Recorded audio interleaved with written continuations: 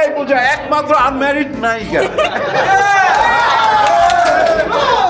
ছবিটা খুবই সুন্দর খুব ভালো লাগছে। অসাধারণ অসাধারণ হচ্ছে যতটুকু আশা করছে এর থেকে অনেক বেশি ভালো ছিল। এটা পয়সা উসুল সিনেমা। লিপস্টিক ছবিটা তো ঈদের সিনেমা। আশা করি আগামী রোজা ঈদ আমার ছবি থাকবে।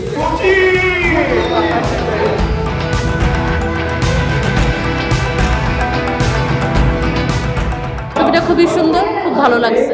সব দিক থেকে সব মিলে সব ভালো লাগছে। মনে হচ্ছে আরেকবার দেখি। যাব আদর ভাই দুইজনের অভিনয় খুব ভালো ছিল এবং খুব ভালো হয়েছে।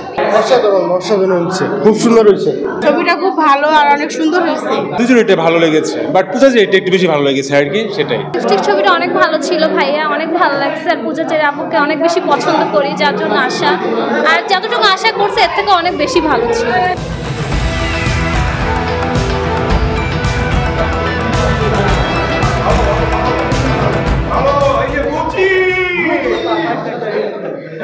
দারুণ দারুণ দারুণ।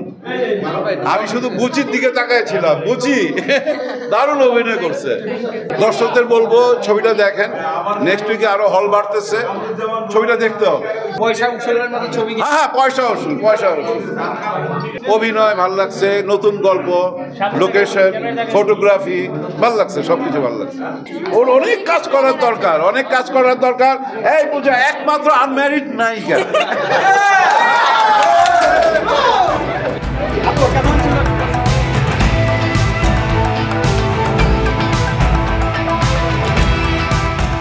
আমার তো বরাবরই ভালো লাগে দর্শকদের সাথে সিনেমা দেখতে এবং এইবার ঈদে আসলে তেমন একটা হল পাইনি।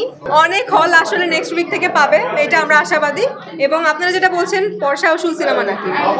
আমি দর্শক হিসেবে বলছি, নায়িকা হিসেবে না, কিংবা অভিনেত্রী হিসেবে না, এটা পয়সা উসুল সিনেমা। আপনি যদি, আপনি আপনার যেই সিনেমা, যেই সিনেমায় দেখেন পয়সা নিজের পকেটে টাকা খরচ করে আপনারা সিনেমা দেখেন এবং খুবই কষ্টের একটা টাকা থাকে।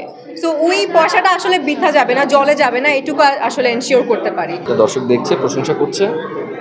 এটাই আমাদের কন্টেন্টই হচ্ছে আমার কনফিডেন্স লিপস্টিক ছবিটা তো ঈদের সিনেমা তো আমাদের প্ল্যান অনুযায়ী আমাদের সব কিছু ঈদকে কেন্দ্র করেই ছিল। দর্শককে আমি বলব, এটা হতাশ হওয়ার কিছু নয়। আপনাদের আপনাদের এই মন্তব্যগুলো আসলে আমার ছবিটার জন্য খুবই বেশি কাজে দিয়েছে। তো এখন হল মালিকেরা তারপর যারা যারা আছেন, সবাই আসলে চিন্তা করছেন যে আপনাদের কাছে ছবিটা কীভাবে পৌঁছে দেওয়া যায়।